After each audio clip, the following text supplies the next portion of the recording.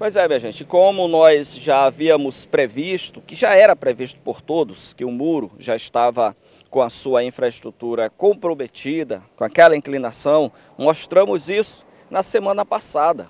Alguns dias depois, no sábado, no último sábado, parte do muro aqui do cemitério central de Rosário veio abaixo.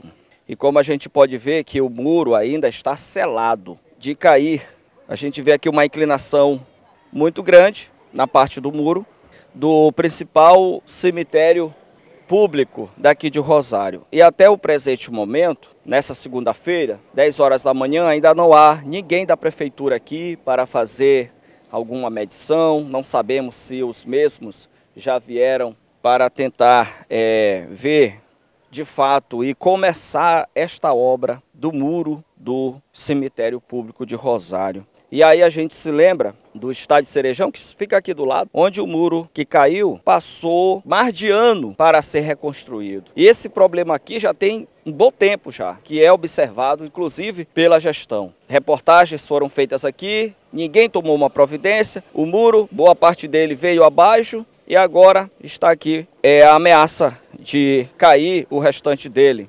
E até o momento, o poder público, prefeitura, Secretaria de Infraestrutura, ainda não veio resolver esse que aparentemente é um pequeno problema. A estrutura que está aqui comprometida não tem nem 30 metros e se encontra dessa forma. Quer dizer, um problema aparentemente simples de resolver e que o poder público ainda não resolveu. Imagine um simples muro de um cemitério, que este cemitério aqui é um patrimônio da cidade de Rosário, está dessa forma Imagine como está o restante do município. Em plena campanha eleitoral, o que a gente vê é a inoperância, é a falta de compromisso com aquilo que é do povo.